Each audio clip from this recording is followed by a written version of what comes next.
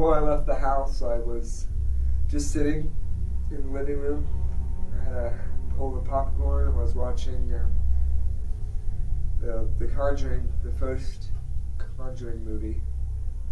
It's uh, it's uh, it's a fun movie. It's kind of scary.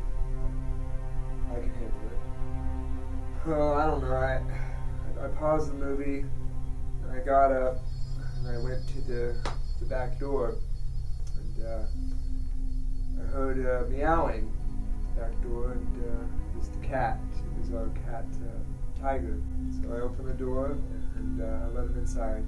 I walk out the door towards the woods. There was this sensation that I was being followed. I hear a voice.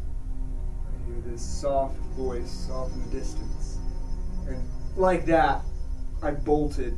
I got out of there as fast as I possibly could. I ran the other way.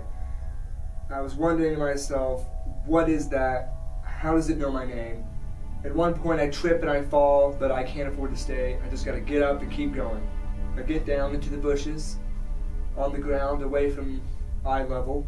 I'm looking around, surveying the horizon. I can barely see anything, it's so dark. And this branch, this, this branch, I hear it crack, and I make a run for it. And uh, I run and I run and I run. And I come to a halt, and I turn around, and there it is. The creature is standing right there, staring at me. Andy, what are you doing out here? Do you not realize how cold it is? You could get hypothermia out here. You don't you're not dressed right. Just last week I saw a snake across the driveway. You know there are snakes around here. Are you crazy?